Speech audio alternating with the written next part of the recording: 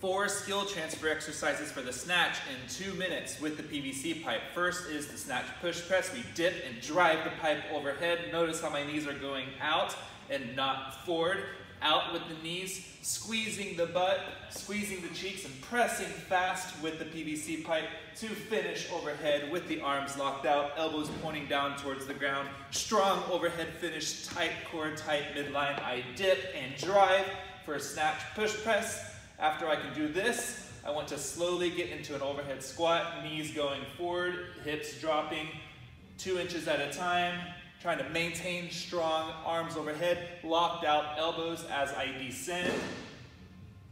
If I can hit the bottom of my squat, squeezing my stomach, staying tight in this area.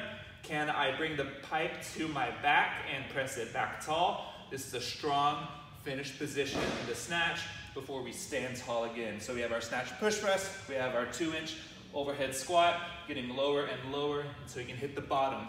Then heaving snap drop, heaving snatch drop, from here, dip, and dropping into the bottom of the snatch, keeping the feet stationary.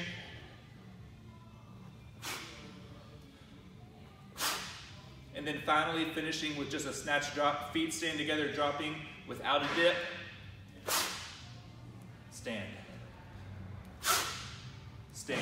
Trying to be quick with the arms, locking out overhead as we go down.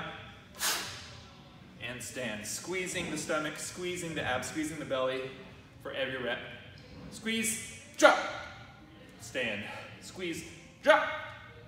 Stand. One more. Squeeze, drop. And stand.